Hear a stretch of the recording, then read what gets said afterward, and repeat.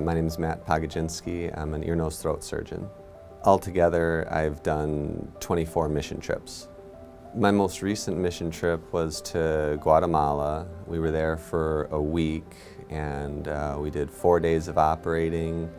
Uh, we saw all our patients on the first day, operated the next four, and then I had one day off to kind of regenerate.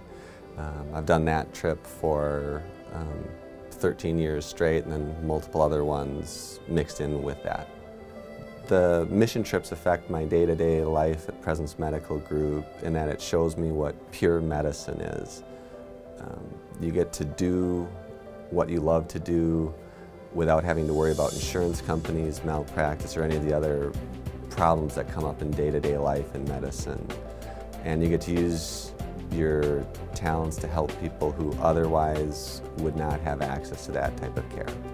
One of the more memorable stories I had was a two-year-old we met in Honduras. Uh, he was born with a cleft lip and palate. He was able to eat but not speak well and obviously had an obvious facial deformity that everybody could see. We did a procedure where we repaired both the lip and the palate at the same time. And in the recovery room, the family came in to see him and really didn't recognize him because the lip was repaired. And then the first word out of his mouth was Papa, which the family had never heard before because you can't make the sound P when your palate is open. Um, it was truly gratifying to be able to see the family's reaction and realize that two hours of surgery can make that big of a difference. There are multiple ways to get involved with this and probably the simplest would be to contact the mission office here at uh, Presence Medical Group.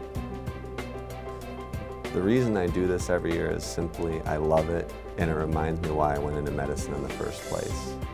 Every year that I do it, I come back feeling a lot more refreshed and energized and I would actually feel much worse if I ever missed a mission trip.